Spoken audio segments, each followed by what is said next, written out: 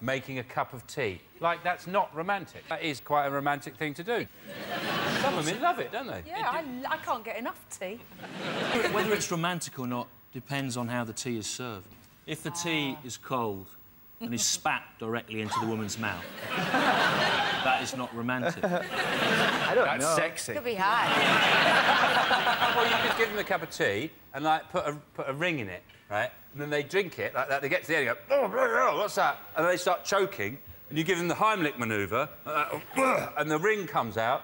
You've saved their life, and you go, will you marry me? How romantic is that? You've saved their life, made them a cup of tea, and proposed to them, and probably broken a rib.